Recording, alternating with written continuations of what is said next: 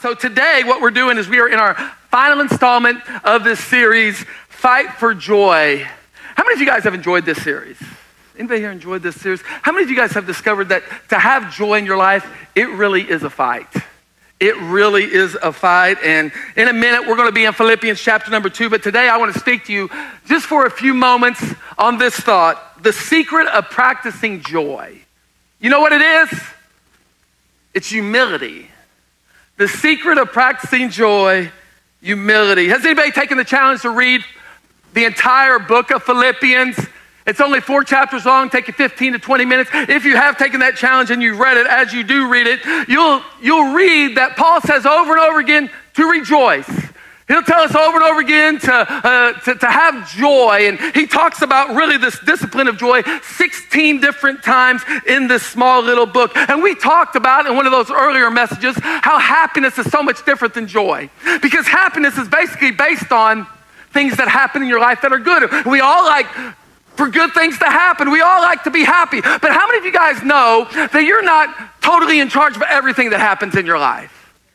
Joy is so much different than happiness because joy is actually a choice that you have to make every single day of your life. And joy is actually a spiritual discipline that you have to develop as a Christ follower. And we have to remember that Paul, um, he tells us to rejoice. He tells us to be joyful, not in a happy place. In fact, Paul, whenever he writes this letter to the church of Philippi, he writes it from a place where he is in a prison cell awaiting to be executed. Really, if you think about it, Paul's the one that needs to be encouraged. Paul's the one that needs to have somebody, you know, speaking into his life. But really, as Paul thinks of himself less and speaks to others about joy and about Jesus and about the power of the Holy Spirit, it gives him the strength that he needs to be able to walk down this fight and fight the good fight of faith. And I think, really, as we think about where Paul's at, as he sits in a jail cell for something that he did right as he's sitting there writing these words, it really ought to speak to each and every one of us, whether you're on the mountaintop or you find yourself in a valley. And, and it ought to speak to us this way that there is joy for your journey every step of the way. Joy is one of those things, my friend, please understand this, that if you do not practice it, that if you not take it as a spiritual discipline, if you don't take it seriously, you will miss out on one of the most important gifts that Jesus died to give us. The Bible, in fact, says the joy of the Lord is your strength. So, in order for you to last in this thing called Christianity, in order for you to have strength through the long haul, my friend, you and I have to learn to practice joy. And that's really what the Apostle Paul is trying to show us as he sits in that jail cell, as he bound in chains. What he's eventually saying is this I'm not going to let these chains steal my joy, but I'm going to let my joy break these chains off of me. In fact, Last week, what I tried to do was I tried to illustrate that point by bringing in literal chains. And when you think about those chains, chains are weighty.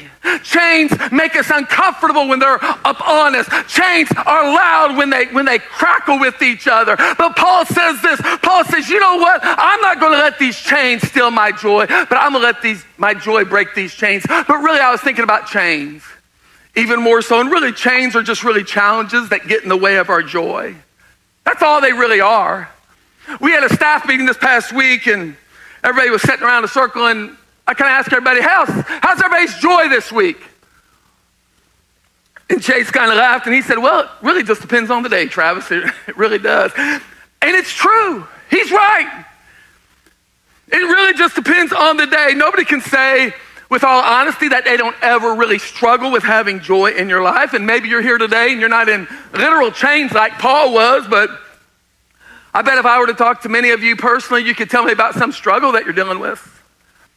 You could tell me about some mountain that you're facing. You could tell me about some addiction that you're trying to overcome. And something else I notice about whenever you're battling joy, a lot of times, something that stills our joy or something that a joy barrier you might have, it seems to be other people. I don't know, it seems like we, we all in this life seem to have people problems.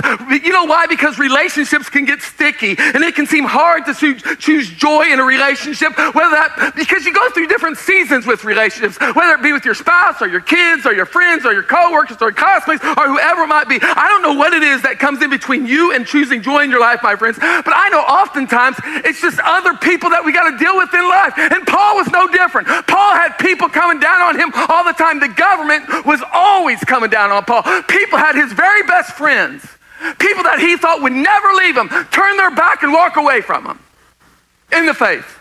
There were people in the church in the faith. When Paul would preach, they totally misunderstood Paul. So the question that I have is this How was Paul able to tell us time and time again to rejoice even in the midst of such difficult circumstances? I really believe, my friend, that Paul was able to tell us that because, because Paul chose not to think about himself all the time. But he chose to think about other people. Paul chose to walk in humility and nearly not even focus on what was in front of him, but he chose to focus on who was walking with him through whatever he was walking through. So, what does humility look like? Well, if you were to define humility, Webster defines humility this way to have a modest or low view of one's own importance. I like that definition. I think it's a good, solid definition. I like what Rick Warren said about Humility, he said this. He said, Humility is not thinking less of yourself, it's just thinking of yourself less. I thought that was good. And by the way, Paul didn't live in a world where humble people were admired. Paul didn't live in a world where humility was saw as a strength. In fact, humility was saw as a weakness because he lived in a time in Roman culture where if somebody showed great humility, they were saw as a weak person because he lived in a culture that said, hey, put yourself first. Just think about you and you only. That's the kind of world Paul lived in. A whole world revolves around you. And I don't think you have to be a social scientist to recognize and realize that's the same kind of society that we live in today. When you think about advertising, when you think about our culture, our society, when you think about social media, my friend, there's this constant push to put you in the center of everything. It's just the world we live in. In fact, I think I shared this years ago, but I I read an article about a group of people who were members of a dating website, and they asked thousands of members of this dating website a number of questions. They said, Hey, just respond yes or no to these questions. And one of the questions was this Are you a genius? Yes or no? Just answer, Are you a genius? And this survey was taken by thousands of people, but the men especially stood out with this question Are you a genius? Because believe it or not, two out of five men said, they, Are you a genius? Two out of five men said, Well, you know, I, that's almost half. I guess if you're going to really corner me, I get, I'm a genius. I guess you're just going to have to. Yep, I'm a genius. But can I tell you, statistically speaking, the fact of the matter is this one out of every 1,000 men are a genius. And I love the way this article put this at the end. It said this it said that two out of every five men consider themselves to be one in a thousand. And I thought, man, that's pretty good. I thought, you know what? That sounds about right, though. Because many times we really don't have an accurate view of ourselves.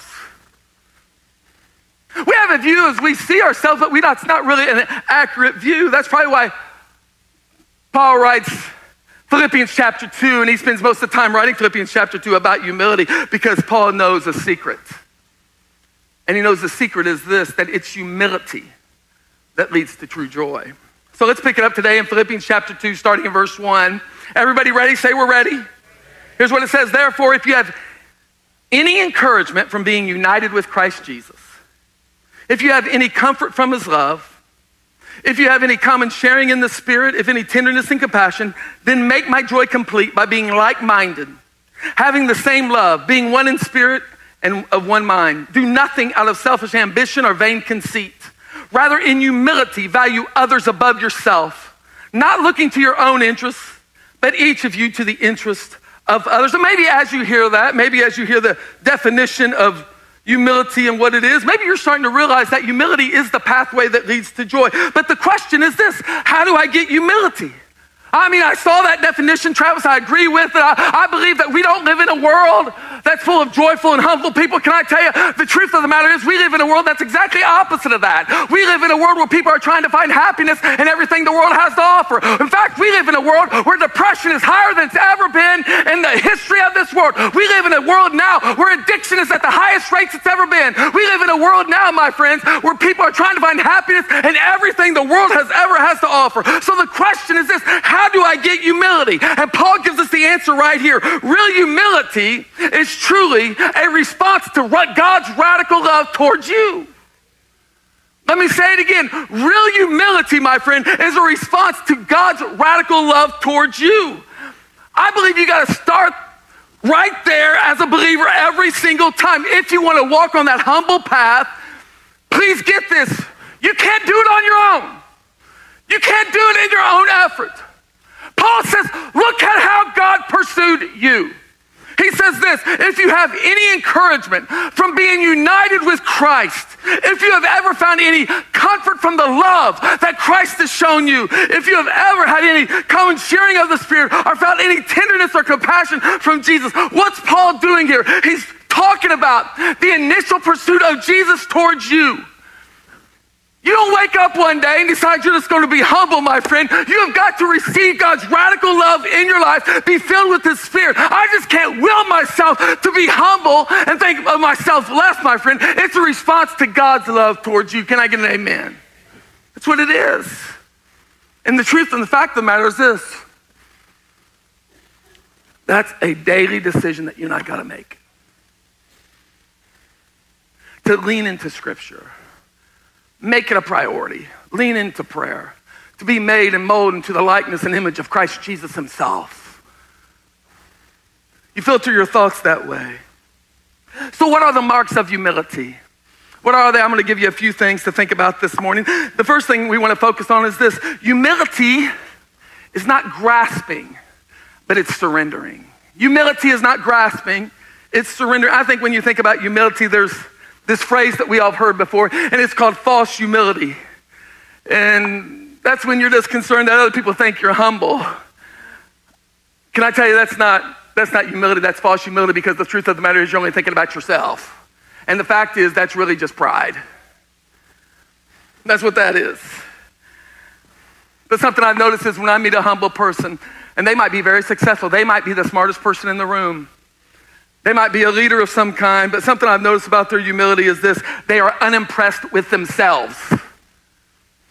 They're unimpressed with their accolades. They're unimpressed with what they've achieved. They're unimpressed with their status in life. Their decisions aren't just focused on, on their needs, but their, but, their, but their decisions are focused upon the needs of other people. And when you think about your life, think about it just for a second. You've got short term needs and you've got some long term needs. And so oftentimes, our short term needs, they clash with our long term needs, my friend. Short term needs are this man, I need to do this right now. But long term needs are, man, I need to become this person every single day. But God, can I tell you, doesn't want our short term needs and our long term visions to clash with each other. He wants us to understand that the, that the sacrifices that we make in the short term, that's what makes long term lasting impact in our lives.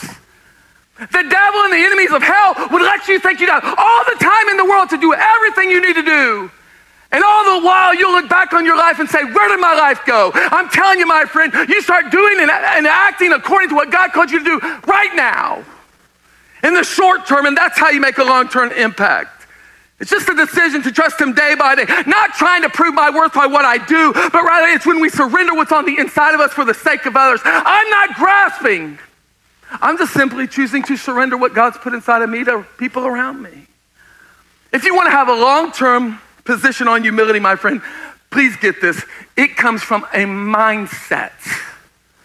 And Paul drills this home in verse 2 of this passage. He says, Make my joy complete, watch this now, by being like minded, having the same love, being one in spirit, and here it is again, and of one mind. Do nothing out of selfish ambition or vain conceit, rather, in humility, value others above yourself. Paul says, Do nothing out of selfish ambition or vain conceit, rather, in humility, value others above yourselves. We just read this definition from Webster's. And I think it's a good definition. I think it's a valid definition. But I honestly don't think it speaks to the totality of what a good definition of what it means to be a Christian and operating in Christian humility. Webster says humility is when a person has a low view of one's own importance. But my friends, that's not the whole picture of what we just read here because Paul says it's not just about you uh, not focusing on yourself, but there's another step. You say, what's that other step? He's saying you're not just focusing on yourself, but you're being outward focused.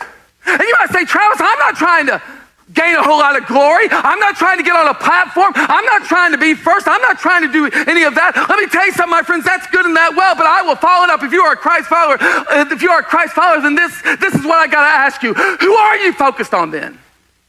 What are you giving to then? What are you surrendering and sacrificing your life for, my friend?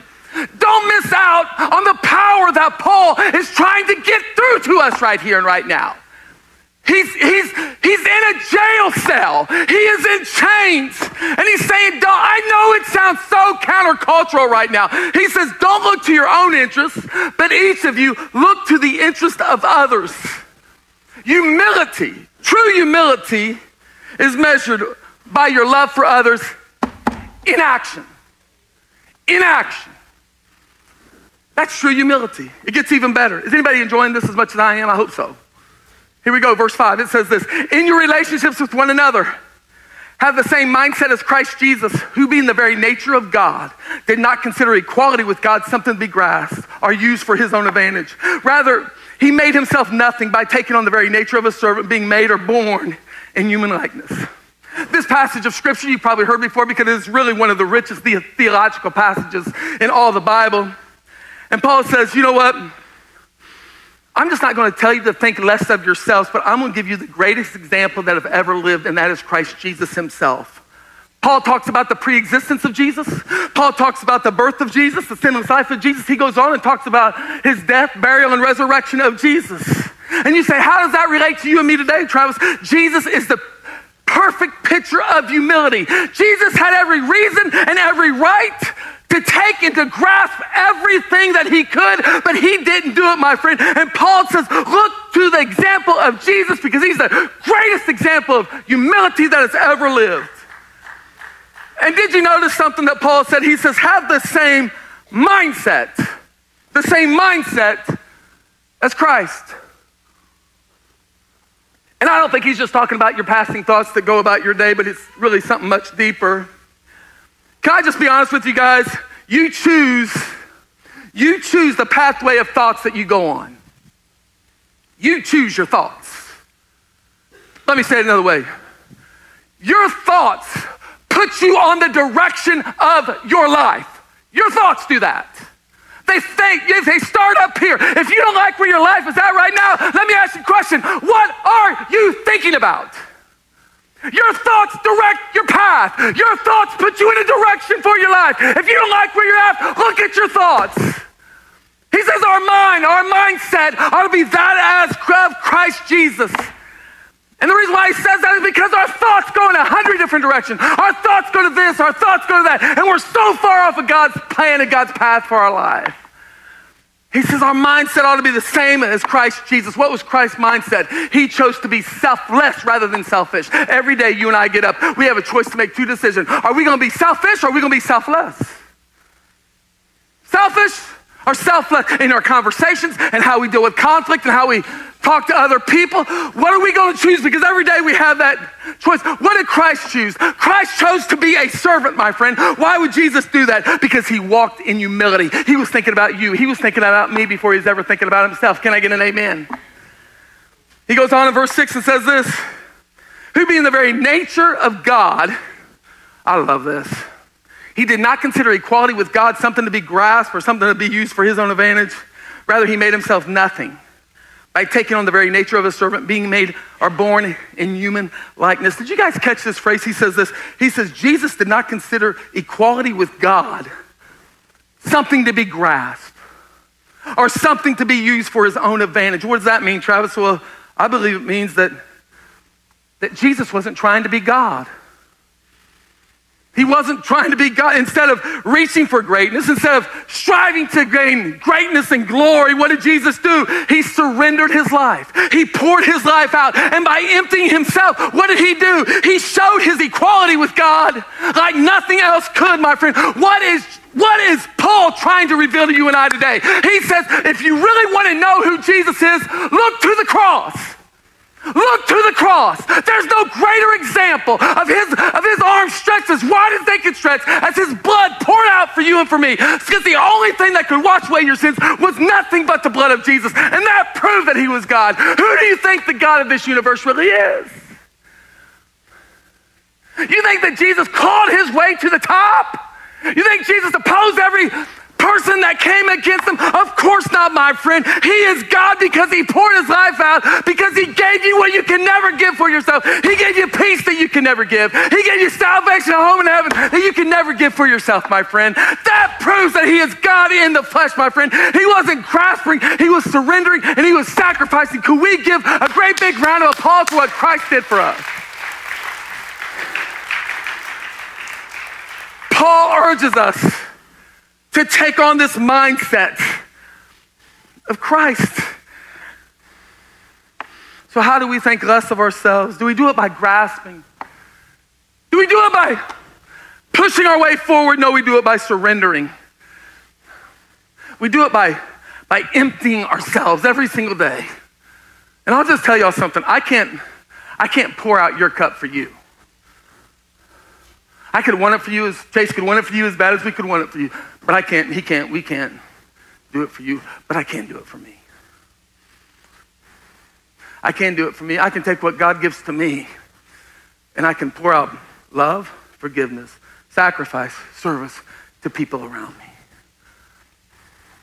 The same way that Jesus, to the best of my ability, I'm not perfect, I got a long way to go. I'm work in progress. Anybody with me? But to the best of my ability, when you have the mind of Christ, you think less of yourself and more about others. And what can you do? You can love, you can serve, you can forgive, you can sacrifice. But nobody else can do that for you. That is only something you can do. We're just going through this passage. Everybody still with me? Today's, you can't be mad at me because today's Pastor Appreciation Day anyway. Amen. Anyway. Let me give you the second mark of humility. Here it is. Humility is following the path that Jesus has called me to. Very simple. Humility is simply following the path that Christ has for my life. Look at verse 8. And being found in appearance as a man, Jesus humbled himself by becoming obedient to death, even death on the cross. Therefore, God exalted Jesus to the highest place. And he gave him the name that is above every name, at the name of Jesus. Every knee should bow in heaven on earth and every tongue will confess that Jesus Christ is Lord to the glory of God the Father. And somebody say, Amen. Oh, man. Humility is simply following the path that Jesus has called me to. It's when I say, you know what? I'm going to obey God even when obeying God makes me uncomfortable. I'm going to obey God even when my flesh tells me to do something else. Can I just tell you guys something? Please get this. The greatest opportunities of your life will always be on the other side of obeying God. Let me say it again. The greatest opportunities of your life will always be on the other side of the cross. It will always be on the other side of obeying God. Give me an example, Travis. Okay, look at the example of Jesus. He was not named the highest name. He was not given the highest honor in the hall of heaven. He was not given the name above every name until after the cross. Therefore, because of this. He was given the highest name in heaven and on earth. It was after the cross, my friend. It was after he, had, he went on that path that God had for him. I was trying to think of a way I could illustrate this. And, um, and I was reading an article this past week, and the article kind of dived into Roe versus Wade.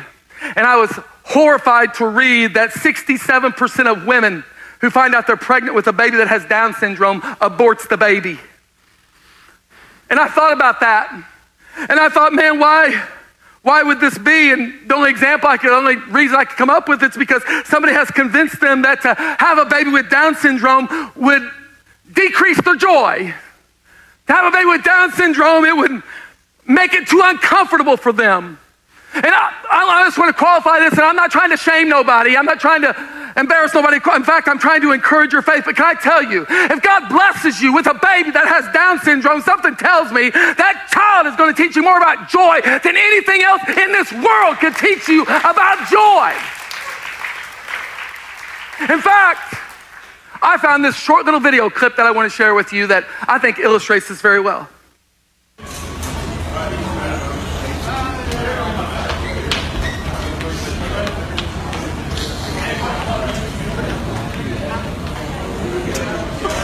I don't think he had a good time. I don't think so. You need a shave.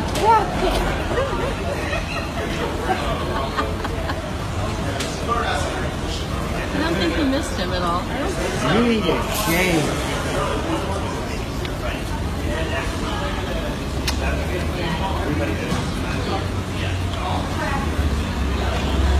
Did you have Did you have a good time? Huh? Did you have a good time?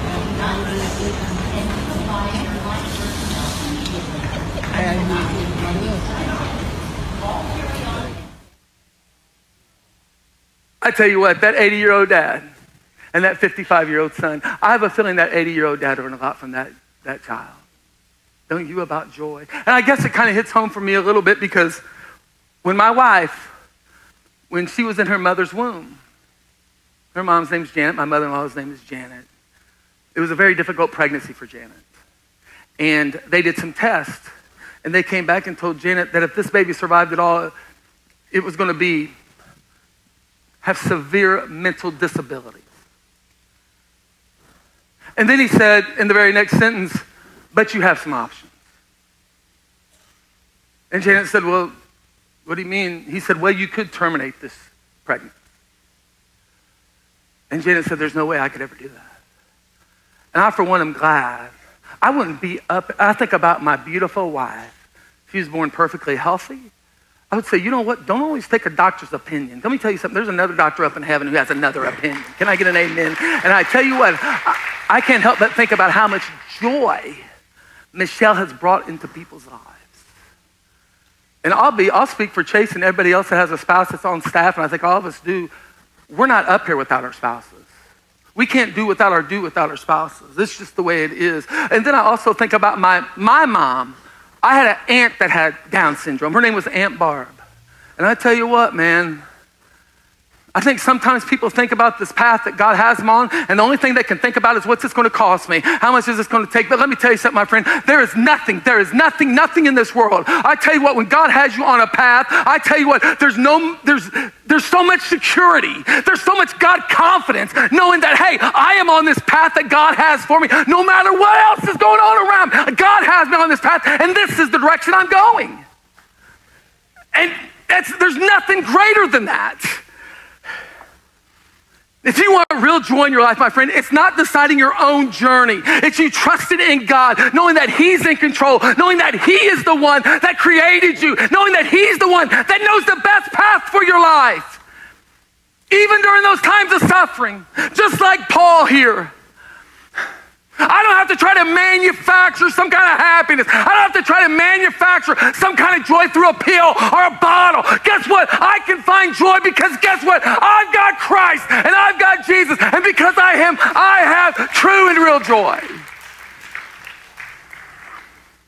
He's the one that created me. He's the one that loves me. He's the one that died for me. Man, and he's the one that's leading me too.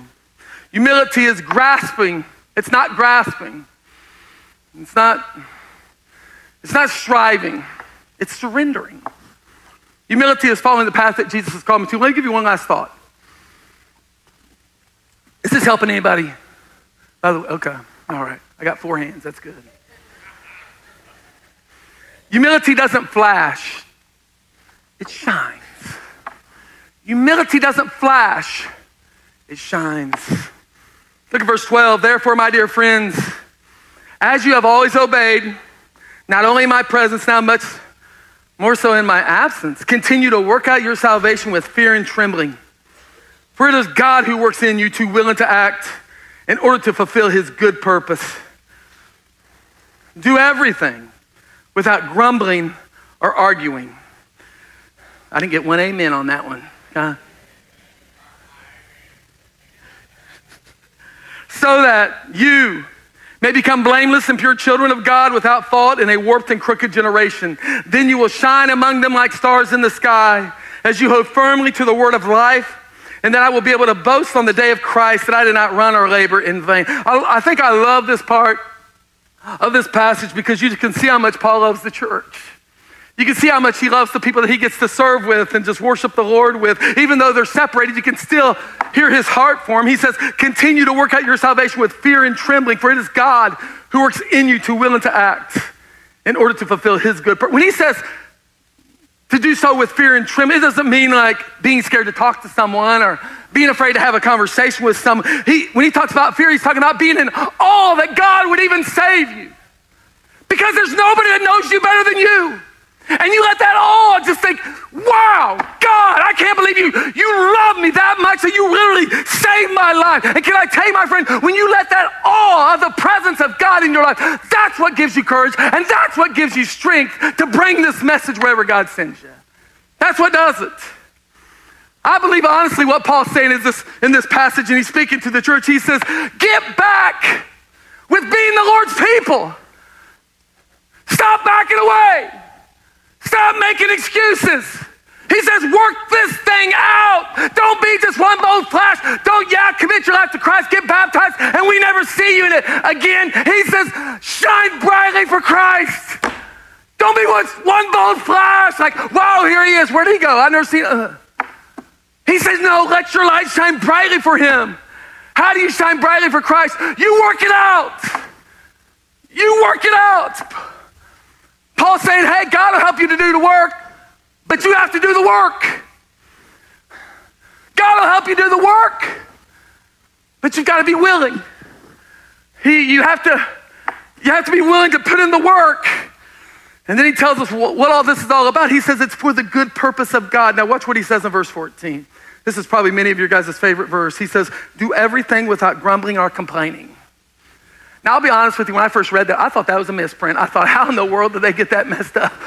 Do everything, do everything without grumbling. I just want to make sure I'm reading this right. Do everything without grumbling or arguing. Would everybody say everything?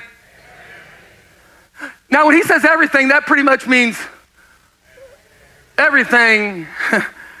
that pretty much doesn't leave us any room for complaining, which is grumbling. That pretty much doesn't leave us any room for quarreling which is arguing. And remember, he's talking to the local church because here's the reason why he writes this to the church of Philippi. Because if you go on and read the rest of this book, you'll find out that there's a, they have some quarrels, they have some complaining going on in the church. In fact, if you read chapter four, you'll find out that there's two ladies arguing with each other. Can you guys believe that two women would argue with each other in church? I know that's probably hard for you to believe, but it's absolutely true. In fact, in fact, these two ladies, one of their name was Euodia, and the other one's name was Syntyche. And you, Paul finds out that they're arguing with each other, and he says, You know what, guys? You need to work it out. There's too much at stake. He says, Work it out.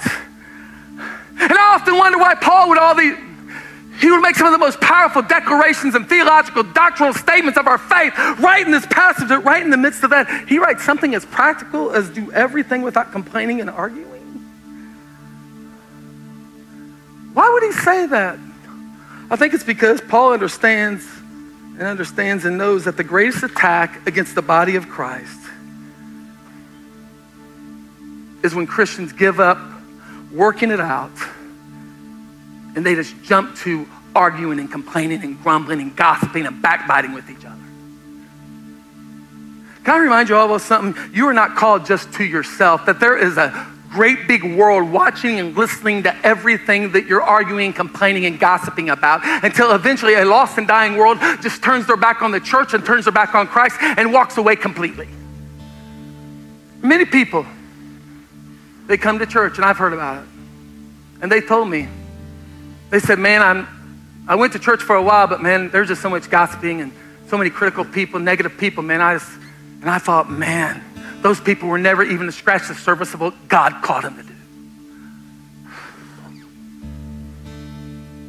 Can I ask you a question? How are you going to shine brightly for Jesus in this dark and ugly world if you're not committed to working it out? You got a question, ask somebody. You have a dissension with somebody, do what the Bible says and go to that person and talk to them about it.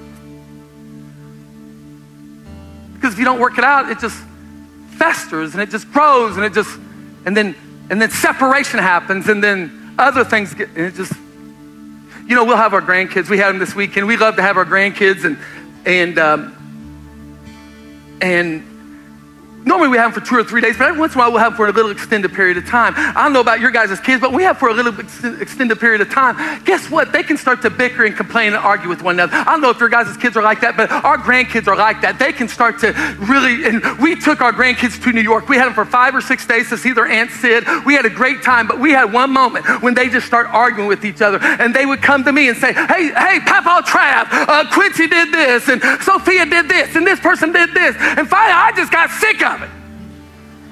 I got tired of it. I said, hey, don't come to me anymore. You guys are going to have to go over there and work it out together. And can I tell you all something I believe is this relationship church? God says, don't walk it out, work it out. Don't walk out, work it out. Church isn't made of perfect people. We're nothing but sinful people being formed into the likeness and image of Christ. We make mistakes. You got an issue, you got a problem, work it out. Work it out. Because more than anything in this passage, you can see that God wants us to walk in unity. He wants us to plant our feet in the soil of His church and say, I'm not going to worship God just with my hands, but I'm going to worship by pouring out my life, by loving and serving each other. And believing ultimately that the best is yet to come. That's the mark of humility. Humility doesn't flash one time, humility shines. It shines. Humility isn't something you just do on Sunday or one day a week, but humility is something you do every single day of the week. Can I get an amen? Hey, would you all pray with me? Father, we love you and we thank you for your presence. We thank you for your joy, God, that you put in the heart of every believer. God, and I thank you for being a forgiving God. Thank you for being a merciful God. God, when we think about the all of you in our life, God, let us never get over that moment. And maybe you're here this morning, and the fact of the matter is you have never really experienced true salvation from Christ. You've never really understood the fact that God loves you so much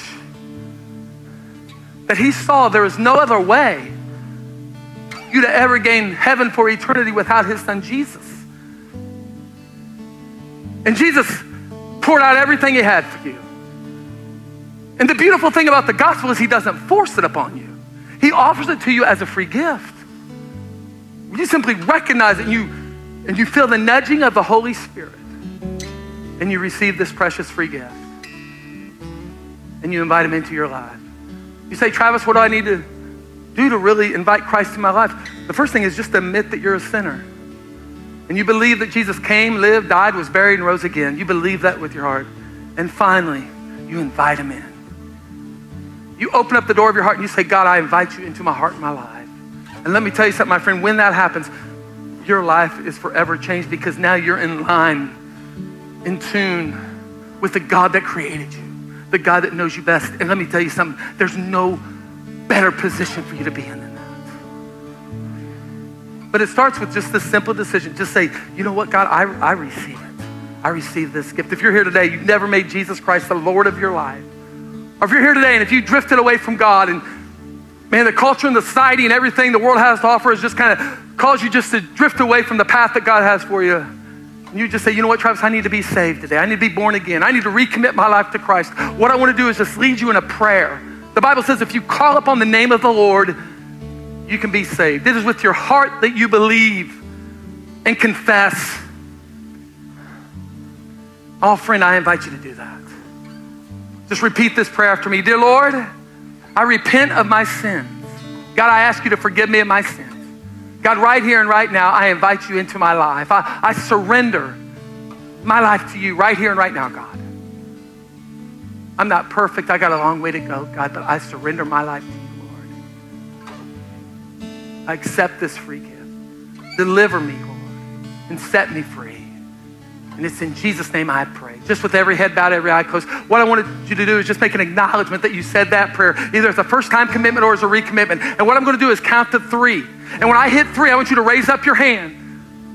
The Bible says if you're ashamed of him, he's ashamed of you. If you acknowledge him, he acknowledges you. So I'm to give you a chance just to, hey, Travis, I made that decision. I'm to hit three. When I hit three, I want you to shoot up your hand. Don't let anything hold you back. One, Jesus Christ loved you so much, he died for you. Two, he was buried and rose again. Three, just raise up your hand all over the auditorium. Raise it up real high. Man, God bless you. I, God bless you two guys. God bless you. God bless you. Keep it up real high. Real high. God bless you over here. Amen. I see four, five, six hands go up. Amen. Amen. Amen. Amen. I'm over everybody just to stand up. Keep praying, Father, right now, God. We rejoice with the angels in heaven. God, you moved in this place. Today's a new day in the heart and lives of, of men and women who committed or recommitted their lives to you. God, and I pray, God, you put a desire in their heart, God, just to know you. A desire in their heart, God, just to connect with you through prayer, through worship, through reading your word, leaning into scripture, trusting in you, God. Let it happen, Lord, in each and every one of their hearts and their lives, Father. Just to stay faithful and committed to this community of believers, Lord. God, you're, you're an awesome and a mighty God. And Father, I also pray right now as we just open up this altar, God, that people would just have freedom just to lay down every burden, every, every joy barrier, every obstacle in relationships that may be out there, every other obstacle that may be out there, God, that just seeks to, to steal our joy. We just lay it at the feet of Jesus. So, God, I just ask that you just have your way in the hearts of your people. Lord. We won't let anything hold us back from your presence. God, we commit it all to your glory. And it's in Christ's name I pray. Amen. Friend, our praise team's going to lead us just in a time of response. If you got anything to pray about, we got, I'm up here, we got other staff members up here. We would love to pray with you. Please understand this is a holy moment. There's something that happens in the quietness of a moment that doesn't happen any other time because it's the one time of the week where really you're quiet and you're really letting the Holy Spirit just speak to. you. I invite you just to come and just lay those burdens down. Just lay those situations down and let God, let God have them. Let God have them.